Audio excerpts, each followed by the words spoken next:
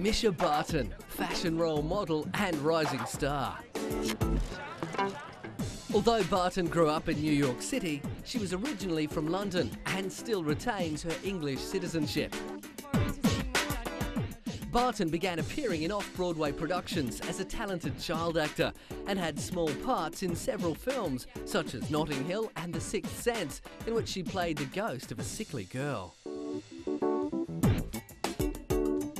Then came television and a regular role in US soap All My Children.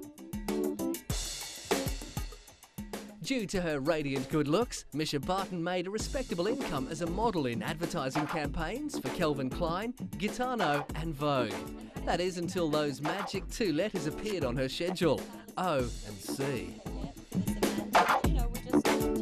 In 2003, Fox premiered the television series The OC, which became an instant overnight success.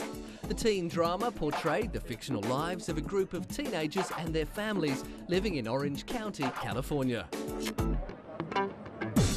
Her character, Marissa Cooper, put Barton on the map until her departure from the show in the third season, resulting in a massive drop in ratings. Is a favourite of many top designers, from Versace to Tommy Hilfiger, many clamouring to dress the actress for the red carpet, or anywhere for that matter. And if you're wondering if there's such a thing as a supermodel anymore, Mischa Barton comes pretty close. Her fashion choices and enviable lifestyle are making her a role model for young women. So will the rising star thrive or dive? We say thrive.